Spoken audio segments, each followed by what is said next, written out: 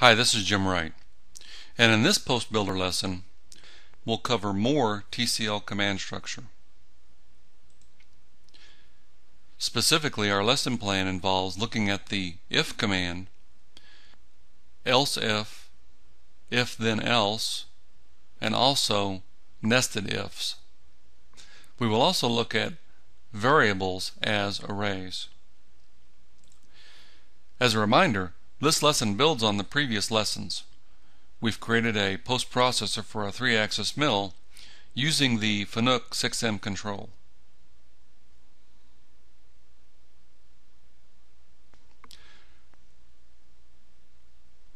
The first logic statement for TCL that I would like to take a look at is also the easiest one to understand. It's called the if statement and it looks something like what you see on the screen if whatever is contained in these curly braces is true, then we will do this. In other words, we will only do this if this is true. If this isn't true, we will ignore this and we will go on to the next line of the code. So I have some examples there on the screen. If space 1 is greater than 0, which of course is true, 1 is greater than 0, space, we will do this. Mom output literal, anything that's enclosed in these double quotes. 1 is greater than 0. That's a fairly easy one to understand. The next example I have involves uh, using an embedded command inside of the if statement. So we start out with if, and then inside of the if portion of the statement we have these square braces, and then we're using a command called info. Remember the, the syntax for commands is the command name and then arguments, arguments, arguments. So this particular command says info exists. So the first argument is exists. So it's looking to see if this particular variable exists. So PostBuilder checks to see if the variable mom machine time exists. Then if it does, it does two things. It sets the variable time to the value of mom machine time, and then it outputs the value of time. And then this closing brace closes off this opening brace over here.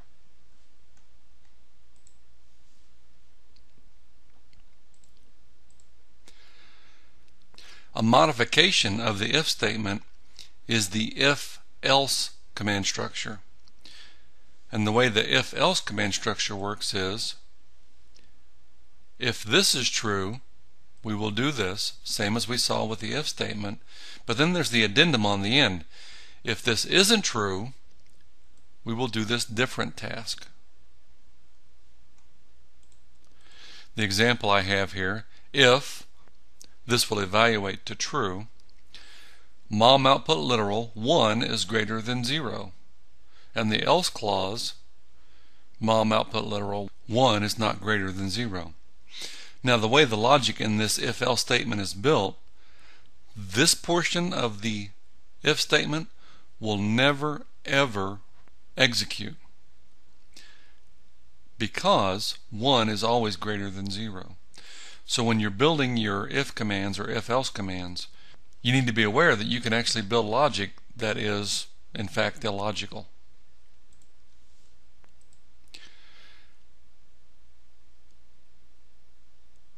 Another variation on the if command is the if else command structure. And I have a couple of examples here. If this is true, do this. We've seen this before. We understand that part. The new part is else if. So instead of just doing whatever's in the next set of curly braces, we ask another question. And if that is true, then we do this alternate task. If that's not true, we go to the next else if. We ask another question, do this different task. Now, we actually have a better command structure to do this type of logic and I'll show you that later on. I don't recall that I've ever used nested else ifs like this. anytime you use a nested if or nested anything, uh, you've got to be very clever with how you build the logic. And finally, we have just a just a plain nested if. So if this is true, and if this is true, and if this is true, then we will finally do this. So we're basically saying if all these things are true, we will do this. We have a little bit better way to do that, and I'll show you that a little bit later on. So I have used nested ifs before, but once again, you have to be very careful of the logic.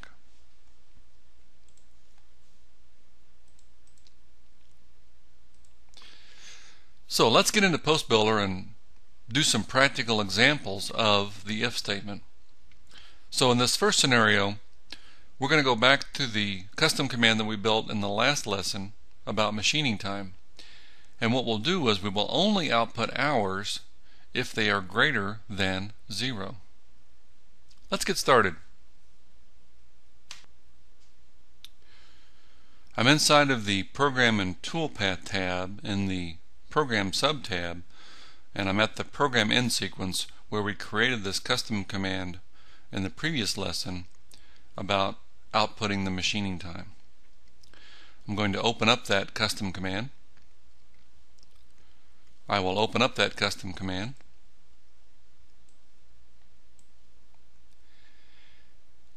And what I would like to do is only output the variable hours if hours is greater than 0. So let's build an if statement to do that.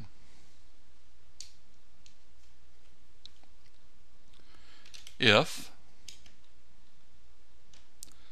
left curly brace let's check on the variable hours if hours greater than 0 right curly brace to close the if portion of the statement, left curly brace to open the uh, next portion, we will output mom output literal estimated machining time hours minutes.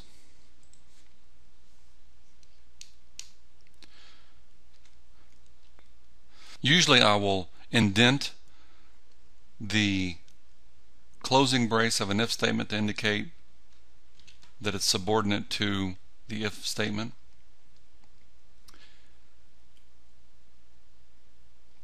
So what do we do if hours are less than zero? So what do we do if hours are not greater than zero? Well, we still want to output minutes. So I'll use my else command, opening curly brace, Go to the next line. Oh, and by the way, uh, I've sometimes run into trouble with TCL if I try to go to the next line without putting the curly brace here. In other words, if I had the else statement, but then I put the opening curly brace down here, I run into trouble because TCL looks at the end of a line statement sometimes as the end of a statement, not always, but sometimes. So generally speaking, if you have an else statement or an if statement, you want to make sure the opening curly brace is on the same line. So what is the else?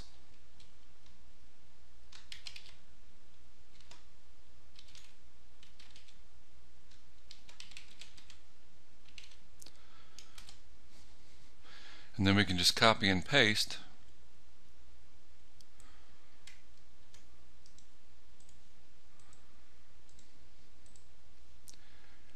and get rid of the hours portion.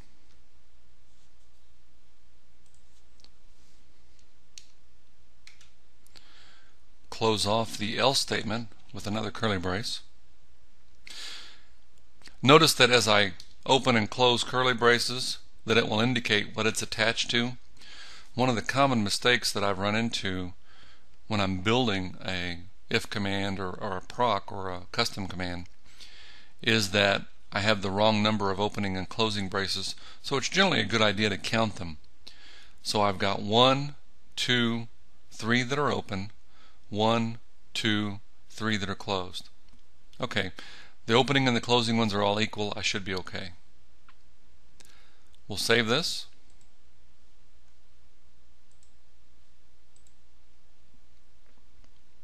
Return to CAM Express. And let's post-process one single operation that should be less than an hour.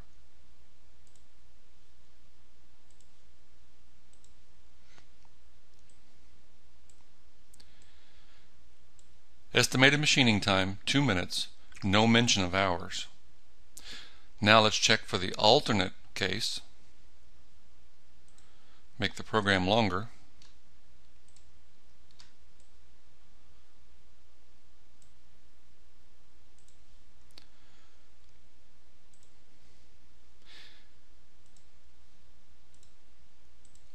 If you remember from our previous lesson, the total estimated machining time for this was over two hours.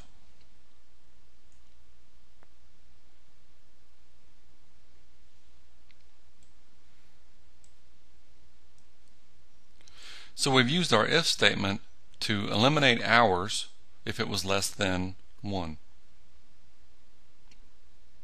If it was not greater than 0.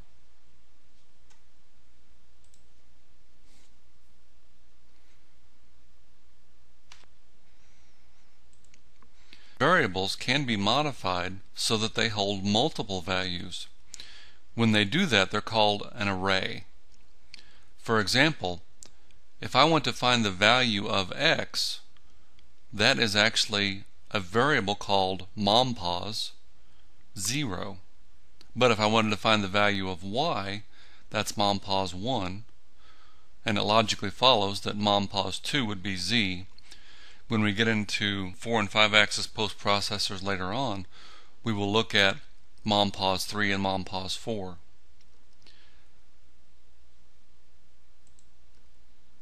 So let's look at an example of using an array to output some kind of message to the NC machinist so that we're classifying the X position with a nested if.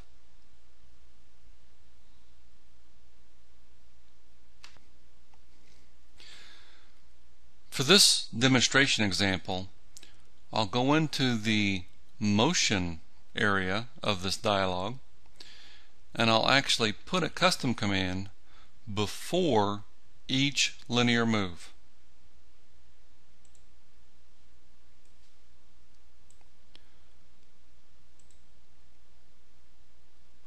Custom command. I'll add that before this line of output.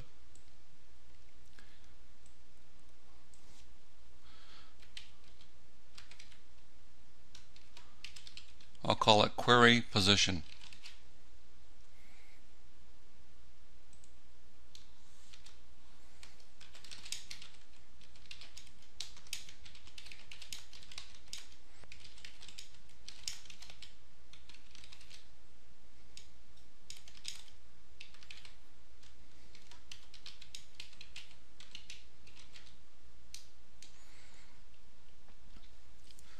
First, we need to bring in the mompos variable.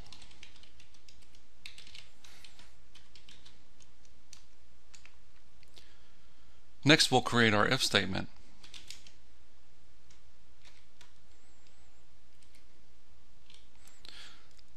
The value of mompos the value of mompos 0 remember we said was x so if that is less than 0,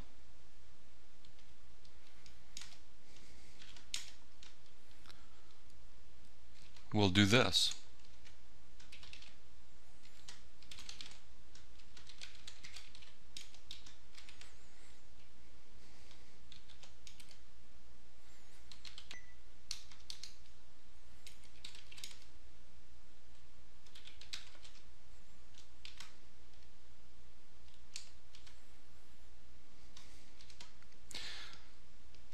This point I'll use an else if.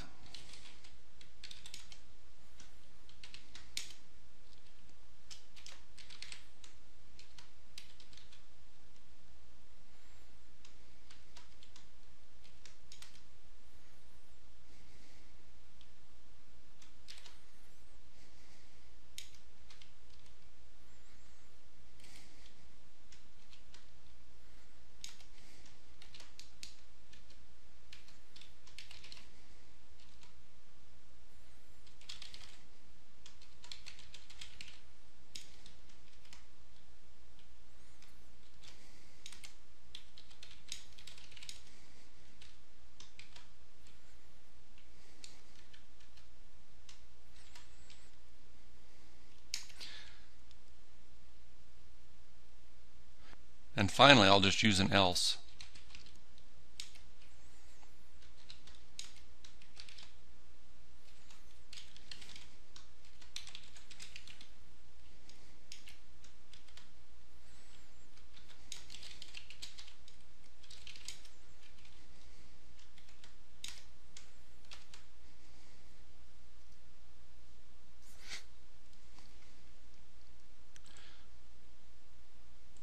Save the post. Remember, this custom command only happens for linear moves, not circular or rapid moves.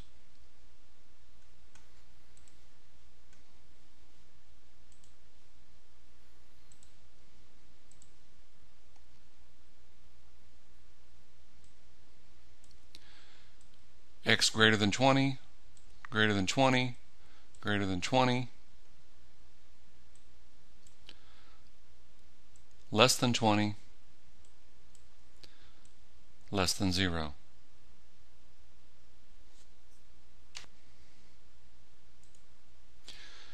To summarize, in this lesson you learned more about TCL command structure, specifically the if command. We created if commands, nested ifs, and else ifs. Finally, you learned a little about variable arrays. Thanks for viewing. In our next lesson, we will tackle more TCL concepts.